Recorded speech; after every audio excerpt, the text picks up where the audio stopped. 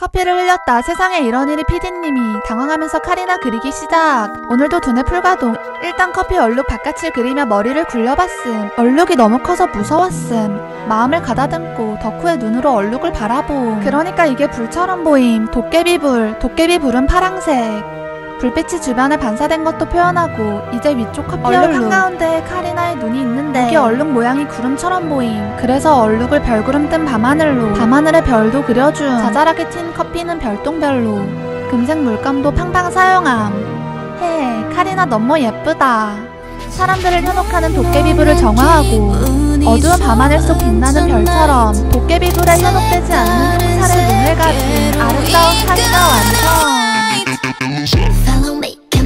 illusion. 사랑해